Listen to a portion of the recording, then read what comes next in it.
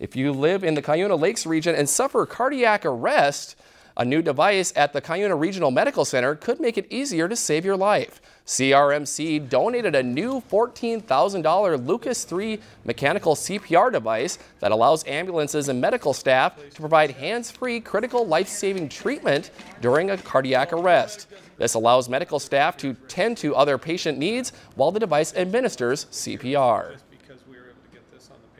We got the Lucas 3 grant from the Helmsley Foundation. The Lucas 3 is a device that does compressions for you when somebody needs CPR. It's uh, the state of the art and it uh, provides almost perfect CPR so that people actually register blood pressures while the machine is working. The Lucas 3 device was donated by the Minnesota Department of Health Office of Rural Health and Primary Care. If you've enjoyed this segment of Lakeland News, please consider making a tax-deductible contribution to Lakeland Public Television.